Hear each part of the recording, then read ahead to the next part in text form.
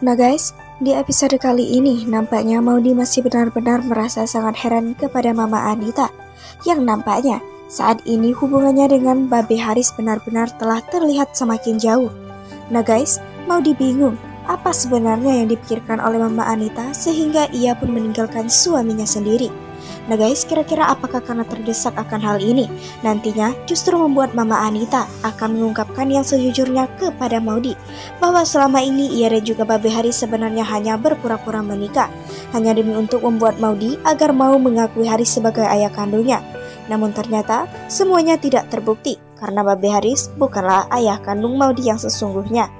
Nah guys, lalu apa yang akan terjadi di episode selanjutnya? Jangan lupa untuk saksikan terus kelengkapan ceritanya hanya di sinetron Love Story The Series setiap hari di SCTV. Dan Mimin pastinya akan update terus info-info terupdate lainnya di sini. Terima kasih.